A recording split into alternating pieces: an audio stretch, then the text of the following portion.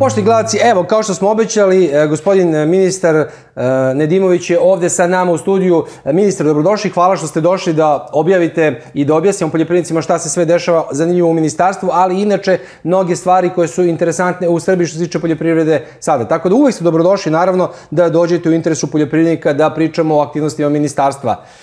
Hvala vam puno. Uvek. E, gospodine Dimoviću, recite nam, molim vas, e, e, ono što ljudi najveći broj ljudi zove vezano za isplatu subvencija, i za krave, i za junad, i za covid, i za sva zaostala dugovanja, za mehanizaciju, po svim onim uredbama, neki tvrde da čak tri godine unazad imaju neka dugovanja ministarstva. Ajde ovako jednom da raščistimo tu priču više za sva vremena.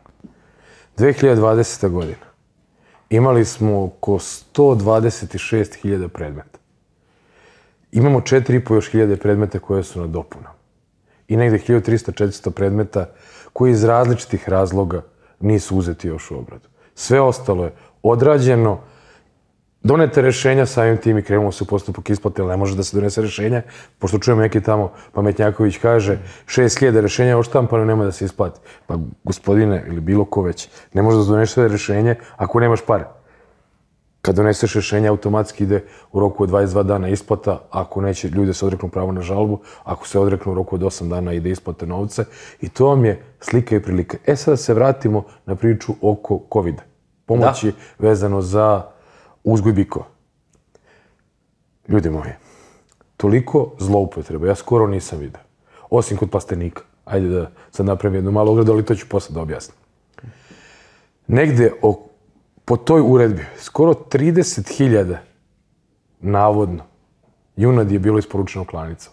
Mi sad kontrolišemo klanicu po klanicu. Da. Da vidimo da li su oni stvarno poklali tu junad.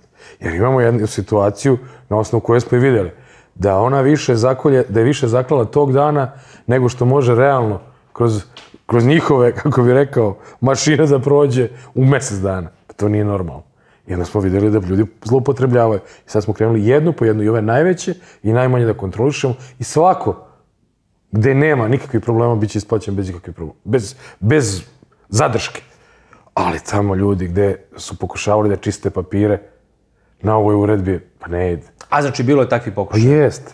Jeste, bilo takvih pokušaja. Kao što ima pokušaja i kod ovaj, biljne proizvodnje, ovamo, davanje za opremu, kod plastenika na prostoru Mačvanskog okruga od 27 kontrola, 23 zloupotreba.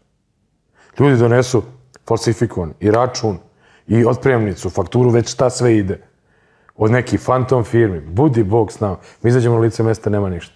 Kako mislite nema ništa? Pa ništa nema. Nema šta, nema plastenika, nema, nema plastenika fizičke, Zašto? nema sistema za navodnjavanje. I to je išlo toliko daleko da smo, na primjer, na području Toplice da? našli kupovinu polovnih tresača, neki tresača koji nemaju veze sa životom. Od 160 kontrola, 83 su bile spore. Ljudi moji, država daje novac. Sećate se, pričali smo to u prošloj vašoj emisiji.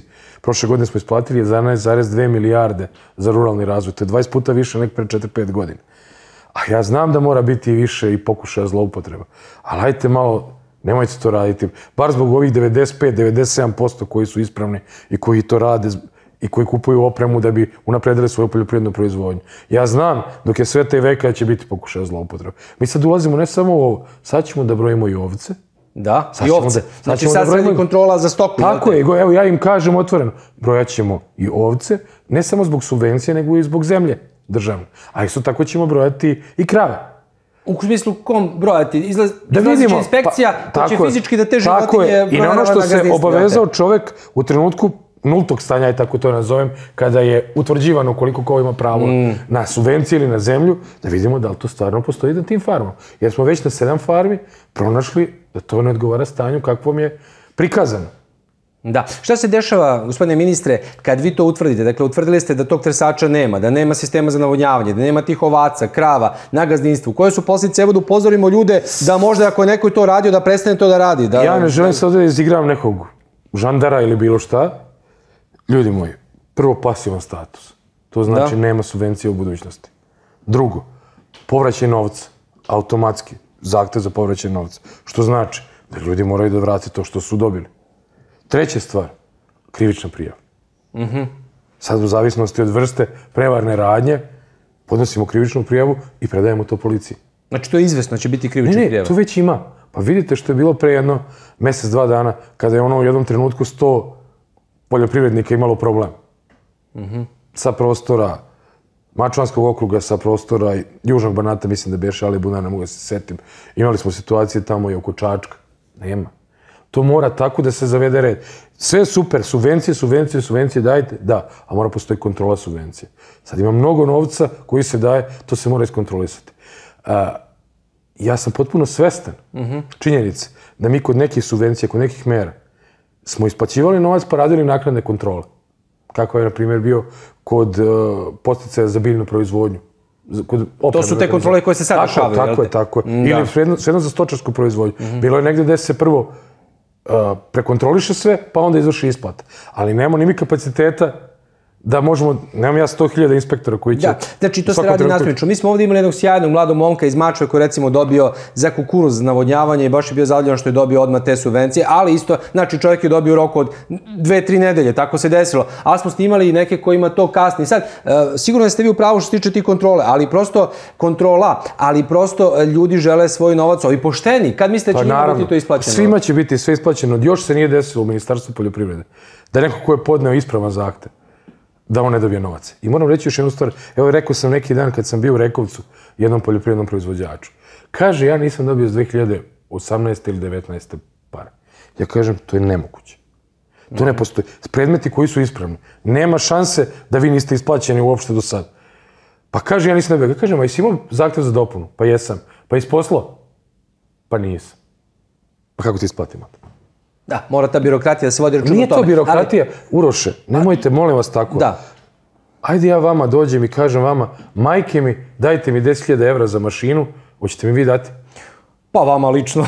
Pa ne mislim mene lično, Može. Da, bilo baš, ko od nas na 10.000. ulici je do... Ne može to Da. tako. Ako postoje pravila, ona mora da se Ne, ispoštuje. šalim se, ali to su naravno državna, državne e, Pa i pravila i državne novac. pare. Neko će mene da pitati kome si dao novac? Da, tako Kome to si je, to dao naš novac. To je naš novac. Ali, gospodine Dimoviću, gospodine ministre, šta ćemo da radimo vezano za, evo, bila je e, vaša divna koleginica Biljana Petrović ovde, e, sjajno nam se puno trudi iz uprave za agrarna plaćanja pre mesec dana. I bilo je pitanje za nju kad će biti ova nova uredba za isplatu za mašine, za mehanizaciju koja se kupi. Ona je rekla, sačekajte, najverovatnije početak, odnosno oko e, jula meseca, to će biti regulisano. Izaći uredba i sačekajte da tad kupite mašine i sve ostalo. E, šta se s time dešava, kad će biti ta uredba? Mi čekamo, mi, čekamo sada da bude sajam poljoprivrede. Biće u Novom Sadu, planirano je bar, sad jedino ako ova korona Mm. opet to ne poremeti, pa ćemo, ali svejedno, kako god bilo, mi ćemo sa tim konkursom izaći i nemoj niko da se sekira koji je kupio mašinu, neće imati problema oko toga, priznavat ćemo sve i bit će sve u redu. Mislite, ovo što je bilo Apsolutno. Do sada? prošlog konkursa, kad je bilo, kad je završen, kad je puštena rampa, bit će konkurs, sve što je bilo posle toga, mi ćemo to isplatiti. Šta je s uredom 10, 40, 50? Kad će tu, jel tu kreću isplate, kad će biti tih što se isplata? tiče voćara i povrtara, ja očekujem tamo iza 1. augusta odmah rang listu Mhm.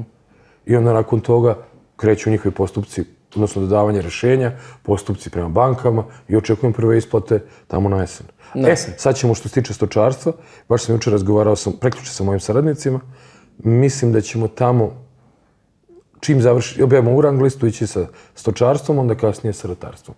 Tako da neće tu biti nikakvih problema.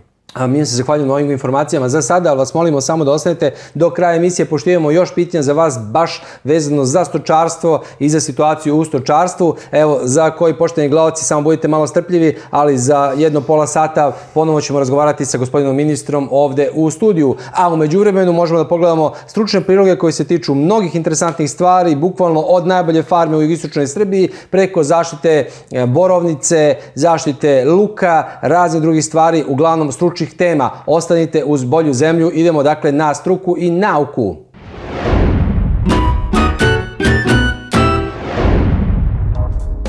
Kako izgleda modern uzgoj borovnice ili kako bi trebalo da izgleda i to tokom cele godine. Ovaj zasad je podizan pod neposrednom kontrolom doktora Predraga Milovanovića, našeg čuvenog zaštitara i u skladu sa tim